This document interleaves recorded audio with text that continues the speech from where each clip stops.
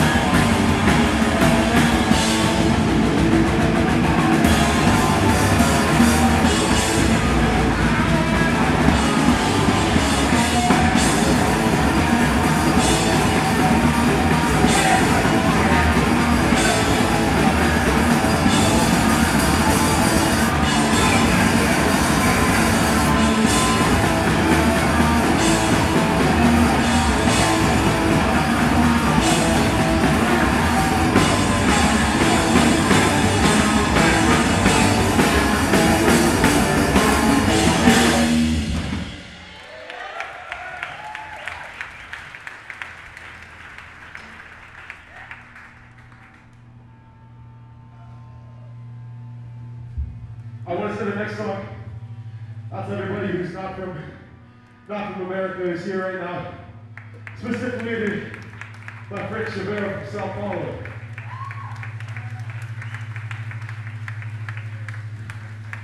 Chavero people like Chavero are a big reason why I, wanted to doing this fest because uh, when we toured Brazil for the first time, we played uh, in Brazil. He, sorry, we played Brazil. He's helped set up the tour, and uh, we invited him back to DC. Now, whatever. We invited him back to DC. He said, "Hey man, we have this festival we're doing. You should come check it out." And uh, to our surprise, he did. He actually came back. He was super fucking cool. He said, "Yeah, just stay at my house, whatever, however long you want. I don't give a shit." He's like, "Yeah, man, I'll stay for a couple weeks. It'll be cool." So he shows up speaks almost no English. I can't understand. When he's at the bus station, he calls me. I don't know what's going on, but it's cool, man. Like we figured it out. He got back to my house. He learned English. He lived at my place, and he overstayed his vacation by a little bit. Then he overstayed his vacation by a lot. Next thing I know, he's living here for six months. Then we have a new band. And next year, he's helping out with the fest. To me, like man, that's about as cool as it gets. That's that's what's the reason to keep doing it. Is, is like a so. I hope that other people have similar experiences. Maybe you don't have to fucking live here, but I don't know, it's cool just to kind of open up the borders a little bit, you know. So that, for me, that's what it's all about. This is for everyone from from America. I'm one.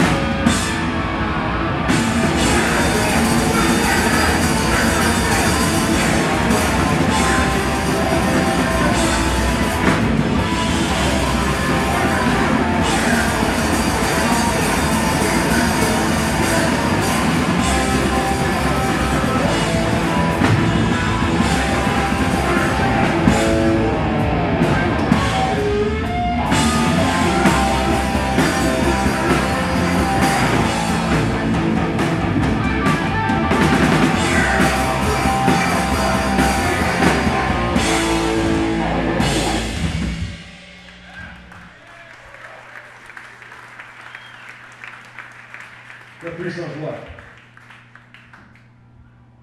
This is an older one that uh, that I wrote in uh, I don't know, I was like 21. It was about my life at the time. I had a pretty negative outlook. I'm more of a hippie now, as you remember, but uh, it's what's called Countdown to Death.